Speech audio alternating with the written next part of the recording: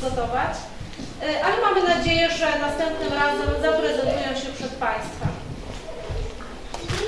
Jako pierwszy wystąpi, pierwsza wystąpi Marysia Kotkowska w utworze Mikołaj z ładną brodą.